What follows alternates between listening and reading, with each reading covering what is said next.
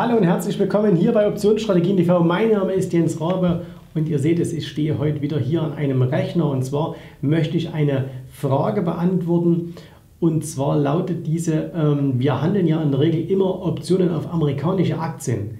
Kann man aber eigentlich auch Optionen auf europäische Aktien handeln und wenn ja, wo kann man denn das tun? Und dazu schauen wir heute mal gemeinsam auf eine Webseite, wo ich euch das Ganze zeigen kann.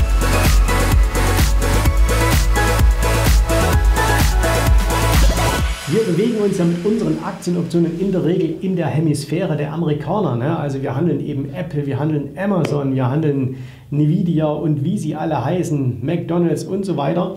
Und jetzt gibt es natürlich auch den einen oder anderen, der immer sagt, naja, ich möchte aber auch mal ganz gern Optionen auf vielleicht deutsche Werte handeln. Ne?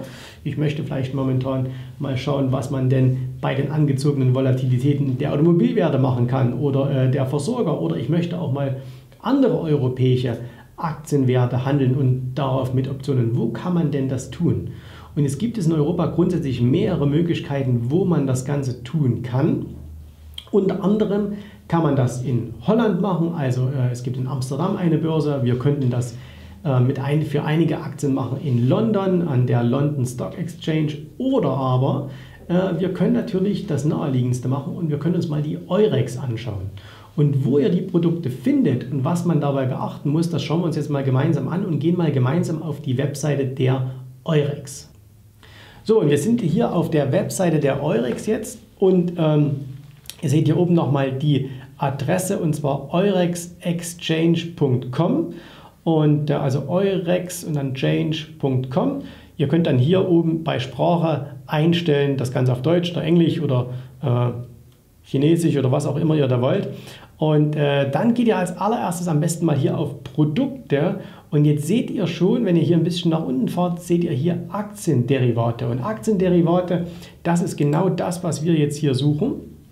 Und dann macht sich hier also ein kleines, ähm, wie heißt das, Dialogfenster, glaube ich. Und dann seht ihr hier Aktienoptionen. Wenn wir das mal anklicken, dann kommen wir hier in eine Liste und ihr seht schon hier oben, es gibt Aktien, europäische Aktienoptionen von über zehn Ländern. Das heißt, hier wird nicht nur Deutschland abgedeckt, sondern viele andere Länder auch.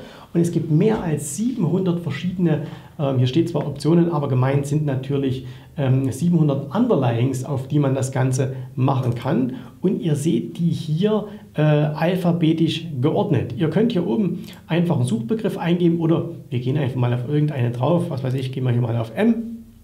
Und da sehen wir hier, ihr könnt dann auch immer sagen, wie viele ihr da jetzt haben wollt. Machen wir halt mal von mir aus 50. Und äh, dann seht ihr jetzt hier die verschiedensten Aktien aufgelistet, also eben hier die MAN, Marks Spencer, äh, Meyer Mellenhof, das ist glaube ich ein ähm, Unternehmen aus Österreich, Mediobanca und so weiter und so fort.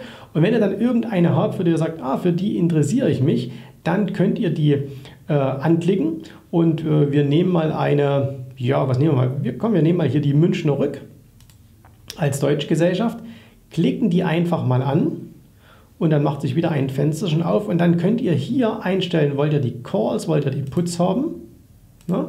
könnt ihr die Laufzeit einstellen, könnt also hier sagen, was es gibt. Theoretisch gibt es hier sogar bis in den Dezember 2021 Optionen. Also ein großer Vorteil der Eurex gegenüber den Amerikanern ist, bei den sogenannten Leaps-Optionen, die gibt es momentan in Amerika bloß bis zum Januar 2019, hier theoretisch bis ins Jahr äh, 2021, also viel, viel länger, was gerade in einem Crash, wenn man Putz schreiben will, eine super, super Sache ist. Aber, und jetzt kommt das große Aber, was ist so ein bisschen das Handicap? Wir schauen uns mal jetzt hier die August-Optionen an. Die verfallen am dritten Freitag im August und ihr seht die jetzt hier alle aufgelistet. Wir haben jetzt mal hier die Calls genommen und äh, wenn wir mal ein bisschen nach rechts fahren, dann sehen wir nämlich hier oben zwei sehr, sehr interessante Spalten. Und zwar einmal die gehandelten Kontrakte und einmal das sogenannte Open Interest. Also wie viele Optionen sind denn momentan offen?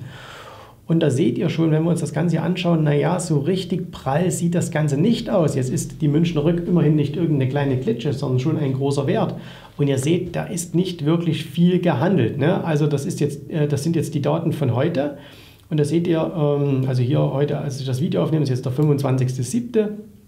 Das sind gerade mal so ein bisschen was über 100, man sieht so 121 Optionen und gerade mal 1400 Optionen sind in dieser Laufzeit offen. Können wir sagen, okay, äh, gehen wir von mir aus mal auf Putz. Wie schaut es da aus? Fahren wir auch hier nach unten, gucken uns das Ganze an. Sieht es da besser aus? Naja, nicht wirklich. 86 Stück gehandelt und 1800 offen. Wenn wir in eine etwas längere Laufzeit gehen, also zum Beispiel in den September, wir gehen mal in den September hinein, da sehen wir momentan heute 21 Stück gehandelt. Ne? Da ist allerdings das Open Interest zumindest schon mal ein bisschen größer. Fakt ist aber auf jeden Fall eins, und das ist der Nachteil dieser ganzen Eurex-Produkte. Die haben wunderschöne Underlyings, die Liquidität lässt aber einfach sehr, sehr zu wünschen übrig.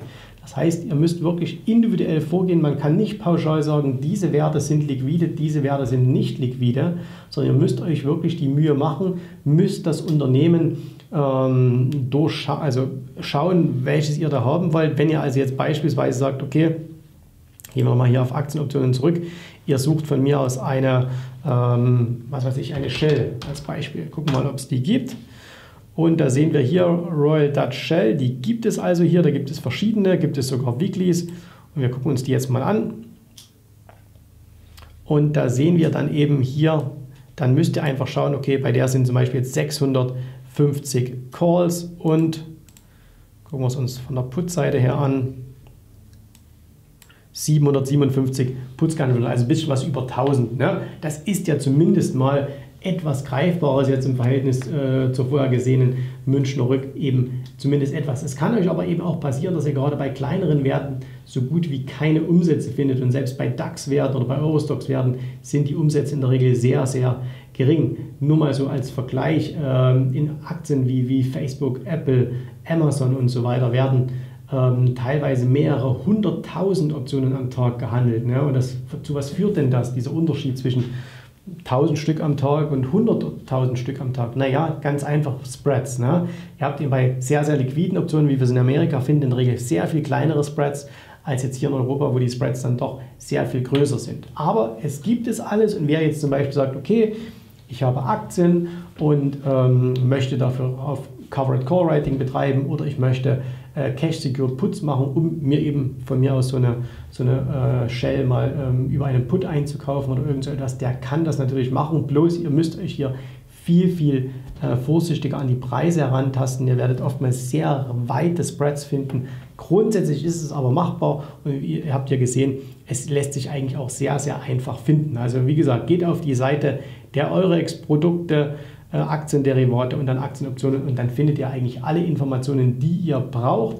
Und wenn ihr dann aktuelle Preise wollt, was kosten die und so weiter, wie ist das Delta? Naja, ganz einfach, dann gebt das Ganze in eure Handelsplattform ein. Das Symbol findet ihr ja in der Regel auch immer gleich hier, also so wie es hier steht. Und dann findet ihr das in der Regel dann auch immer gleich bei euch, äh, zum Beispiel eben in der TWS und könnt euch dann die Preise entsprechend anschauen. Eurex-Zugang kostet, glaube ich, um die 8 Euro im Monat für Privatanleger in der TWS, das heißt also auch nicht sehr, sehr teuer. Ich hoffe, euch hat diese äh, kleine Information wieder etwas geholfen, nach vorn zu kommen in eurem Optionshandel, noch ein paar mehr Möglichkeiten zu finden, etwas zu tun. Wenn ihr Fragen habt, wenn es euch auch mal interessiert, was gibt es denn in London, was gibt es in Amsterdam, dann schreibt mir das hier in die Kommentare rein und dann können wir uns das Ganze auch gern mal anschauen. Wir sehen uns auf jeden Fall wieder beim nächsten Video, egal ob ihr in Amerika handelt oder in Deutschland an der Eurex. Euch viel Erfolg, bis zum nächsten Mal. Tschüss, Servus, macht's gut. Bye, bye.